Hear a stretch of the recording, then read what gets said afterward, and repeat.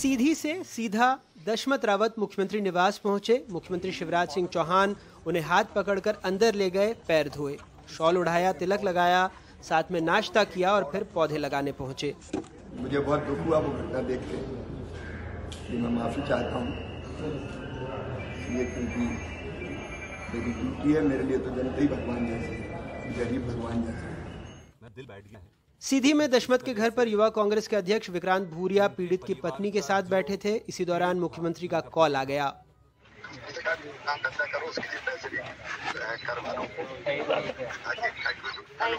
पैसे हमका पहले आदमी आमा हमारे नहीं दो दिन से इनने कुछ खाया पिया नहीं। दसमत भाई जो कोल समाज से आते हैं, वो अकेले कमाने वाले परिवार के थे। और उनको सिर्फ़ शिवराज सिंह चौहान जी उनसे मिलना चाहते तो उठा कर ले गए। मैं शिवराज सिंह जी जी से पूछता हूँ कि ऐसी क्या ज़रूरत थी? अगर आपको पीड़ा थी तो आपको यहाँ इनके परिवार से मिलना था। एक परिवार को तोड़कर, पति को छीन कर पिता को अलग कर कर आपको क्या मिल गया? बीजेपी बार बार आदिवासी पर अत्याचार क्यों करती है? और नीमच में क्या हुआ? नीमच कांड में भी जिस जिसने आदिवासी हमारे कन्हैयालाल भील को गाड़ी से बांधकर घसीट कर मार डाला, वो बीजेपी का सरपंच था, इसलिए कार्रवाई नहीं हो रही थी। मनोज नाम था उसका।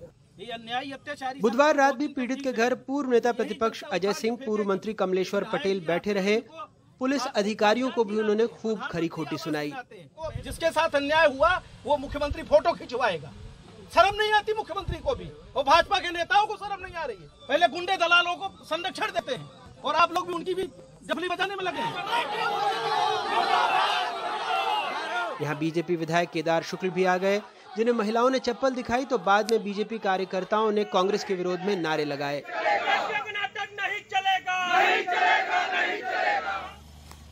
उधर आरोपी प्रवेश शुक्ला, जो गिरफ्तारी के वक्त भगवा गमछे में तनकर थाने पहुँचा था, वो अगले दिन पुलिस की किरकिरी के बाद हैरान, परेशान, पिटा हुआ गाड़ी में बैठा।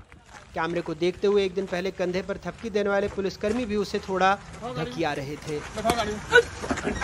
सीधी कांड का आरोपी प्रवेश शुक्ला भारतीय जनता युवा मोर्चा का मंडल स्तर का पदाधिकारी रह चुका है और शायद यही वजह है कि जब वो गिरफ़्तार हुआ तो थाने में उसकी अकड़ दिखी, लेकिन अगले दिन पुलिस वालों ने उसकी अकड़ निकाल दी। काश ये अकड़ पहले निकाली होती तो फिर किसी जाति या किसी सत्ता के दंभ में कोई दशमत रावत परेशान नहीं होता। भोपाल से अपने कैमरा सहयोगी रिजवान खान के साथ अनुराग बारी एनडीटीवी इंडिया।